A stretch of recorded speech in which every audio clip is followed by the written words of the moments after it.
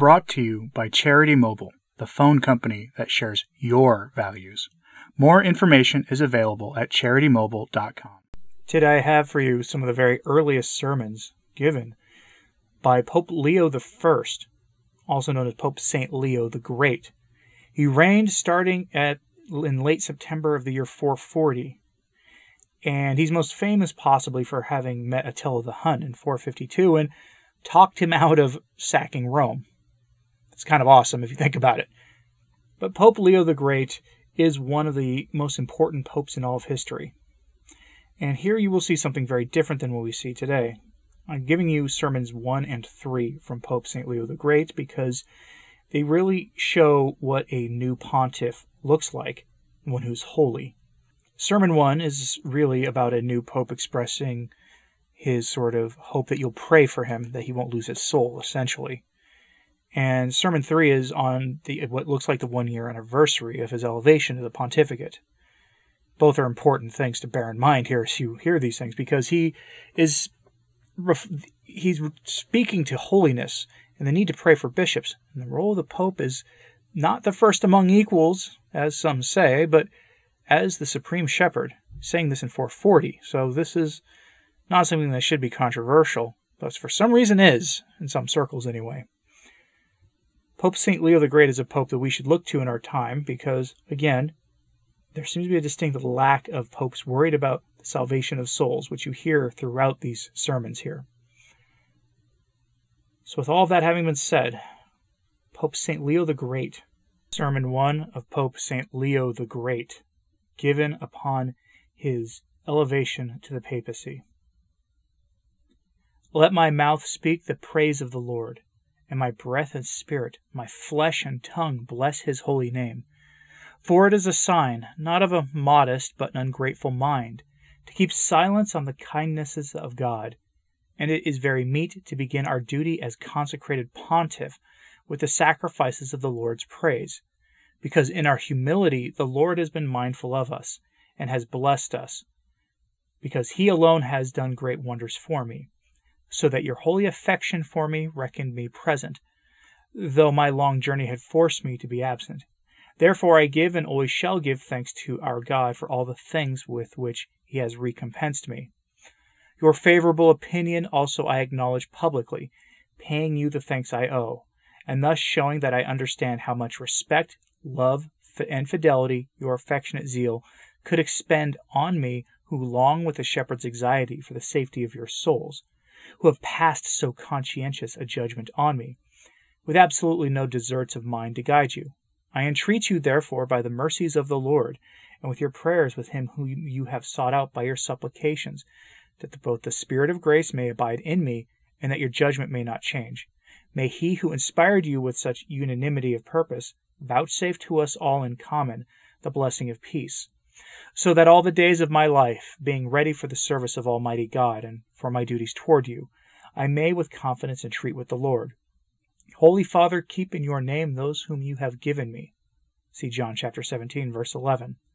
And while you ever go on unto salvation, may my soul magnify the Lord. See Luke chapter 1, verse 46. And in the retribution of the judgment to come, may the account of my priesthood so be rendered to the just judge that through your good deeds you may be my joy and my crown, who by your good will have given an earnest testimony to me in this present life. And now, Sermon 3, which was given on his birthday, delivered on the anniversary of his elevation to the, to the papacy.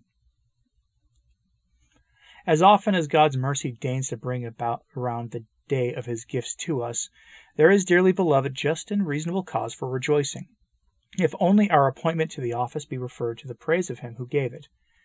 For though this recognition of God may well be found in all his priests, yet I take it to be peculiarly binding on me, who, regarding my own utter insignificance and the greatness of the office undertaken, ought myself also to utter the exclamation of the prophet, Lord, I heard your speech and was afraid.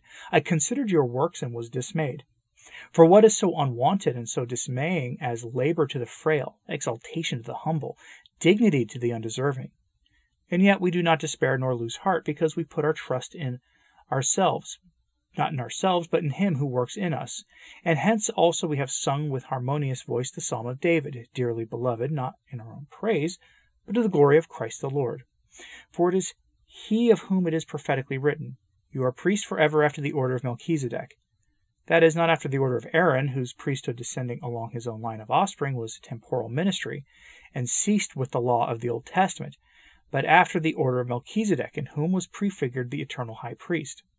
And no reference is made to his parentage because in him it is understood that he was portrayed, whose generation cannot be declared.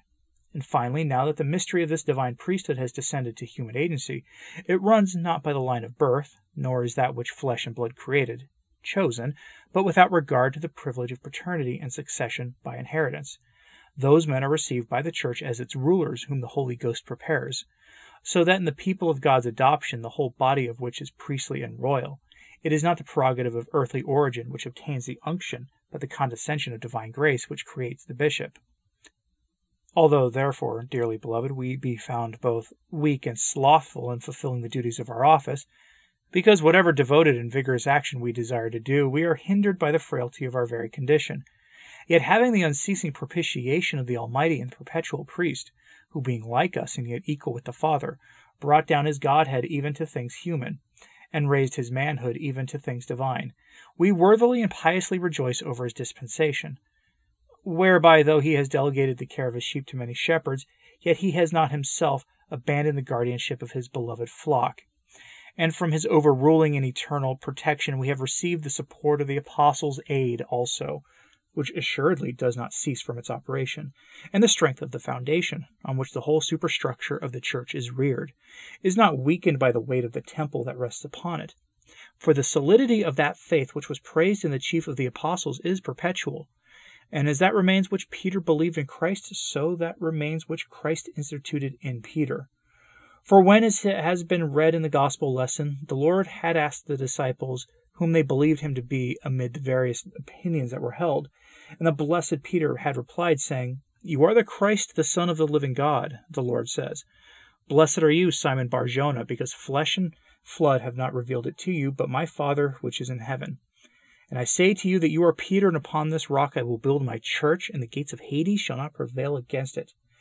And I will give unto you the keys of the kingdom of heaven. And whatsoever you shall bind on earth shall be bound in heaven, and whatsoever you shall loose on earth shall be also loosed in heaven. The dispensation of truth therefore abides, and the blessed Peter, persevering in the strength of the rock which he has received, has not abandoned the helm of the church, which he undertook. For he was ordained before the rest in such a way that from his being called the rock, from his being pronounced the foundation, from his being constituted the doorkeeper of the kingdom of heaven, from his being set as the umpire to bind and loose, whose judgments shall retain their validity in heaven.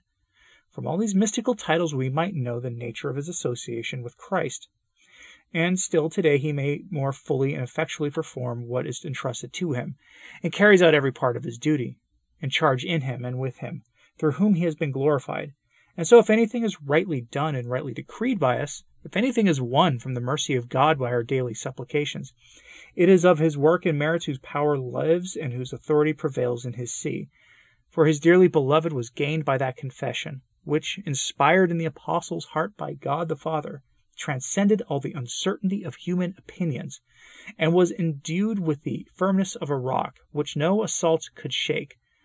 For throughout the church, Peter daily says, You are the Son, you are the Christ, the Son of the living God. And every tongue which confesses the Lord accepts the instruction of his voice, conveys.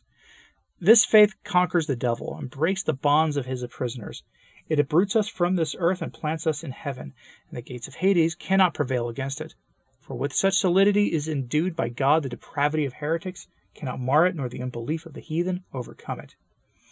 And so, dearly beloved, with reasonable obedience, we celebrate today's festival by such methods, that in my humble person he may be recognized and honored, in whom abides the care of all the shepherds, together with the charge of the sheep commended to him, and whose dignity is not abated even in so unworthy an error, and hence with the presence of my venerable brothers and fellow priests so much desired and valued by me, will be the more sacred and precious if they will transfer the chief honor of this service, in which they have deigned to take part in him, by whom they know to be not only the patron of this see, but also the primate of all bishops. When, therefore, we utter our exhortations in your ears, Holy brethren, believe that he is speaking whose presence we are, because it is his warning that we give, nothing else but his teaching that we preach, beseeching you to gird up the loins of your mind, and lead a chaste and sober life in the fear of God, and not to let your mind forget its supremacy and consent to the lusts of the flesh. Short and fleeting are the joys of the world's pleasures which endeavor to turn aside from the path of life those who are called to eternity. The faithful and religious spirit, therefore, must desire the things which are heavenly, and being eager for the divine promises, lift itself to the love of the incorruptible good and the hope of the true light. But be sure, dearly beloved, that you labor whereby you rest vices and fight against carnal desires is pleasing and precious in God's sight, and in God's mercy will profit not only yourself, but me also, because the zealous pastor makes his boast of the progress of the Lord's flock. For you are my crown and joy, as the apostle says. If your faith, from which the beginning of the gospel has been preached in all the world, has continued in love and holiness. For though the whole church, which is in all the world, ought to abound in all virtues, yet you especially above all people becomes to excel in deeds of piety, because founded as you are on the very citadel of the, of the apostolic rock, not only has our Lord Jesus Christ redeemed you in common with all men, but the blessed apostle Peter has instructed you far beyond all men, through the same Christ our Lord. And that was Sermon 1 and 3 of Pope St. Leo the Great. Again, not to be confused with Pope Leo XIII. Leo XIII came many centuries later and has not been canonized. Pope Leo the Great is one of the greatest of the popes in the history of the church, as his title suggests. And here you see something very different than we see in our time. You see here a, a humble pontiff, a pontiff who is afraid for his own soul because he understands the weight of the cross he was given when he was named pope. Something to consider, I think, for our time. Let me know what you thought of this in the comments, please. Like and subscribe if you haven't. It really does help, as does sharing this on social media. That helps a lot as well. As always, pray for the church. I'm Anthony Stine. Ave Maria.